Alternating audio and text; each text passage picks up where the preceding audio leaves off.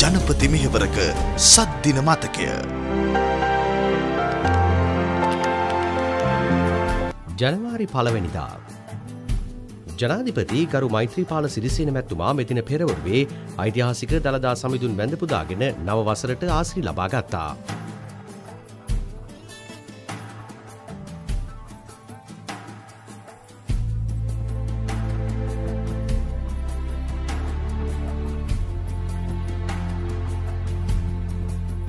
අනතුරුව මල්වතු අස්කිරි මහනා හිමිවරුන් බැහැදුටු ජනාධිපත්තුමාට උන්වහන්සේලා සෙත් පිරිත් සජ්ජායනා කර ආශිර්වාද කළා. මහනුවර නෙල්ලිකල ජාත්‍යන්තර බෞද්ධ මධ්‍යස්ථානයේ තෙවර්ෂ පූර්ණ පුුණ්‍ය මහුත්සවේටද ජනාධිපත්තුමා මෙදින පස්සරුවේ සහභාගි වුණා.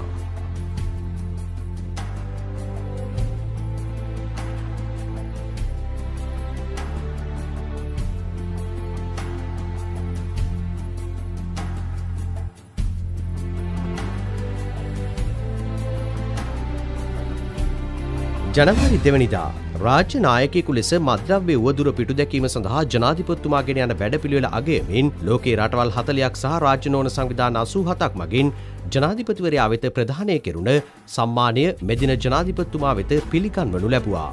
බරපතල වංචාදූෂණ රාජ්‍ය සම්පත් වරප්‍රසාද බලය සහ අධිකාරිය අනිසි ලෙස භාවිතාව සම්බන්ධයෙන් ජනාධිපත්තුමා විසින් පත් කළ පරීක්ෂණ කොමිසමේ වාර්තාව ජනාධිපත්තුමා වෙත බාර දෙනු ලැබවා. ජනවාරි හතරවෙනිදා ශ්‍රී ලංකාව පිළිබඳ සර්වපාක්ෂික බ්‍රතාන්‍ය පාර්ලිමේන්තු කණ්ඩායම මෙදින පස්සරුවේ ජනාධිපති කාර්යාලයේදී ජනාධිපත්තුබා හමුණා. ජනවාරි පස්සනිදා. වසර පහළුවකට පමණ පසු ජපන් විදේශ අමාත්‍යවරයෙකුගේ පැමිණීම සනිටුහන් කරමින් ශ්‍රී ලංකාවට පැමිණ සින්න ජපන් විදේශාමාත්‍ය තාරෝ කෝනෝ මහතා මෙදින ජනාධිපති කාර්යාලයේදී ජනාධිපත්තුමා හමුණා.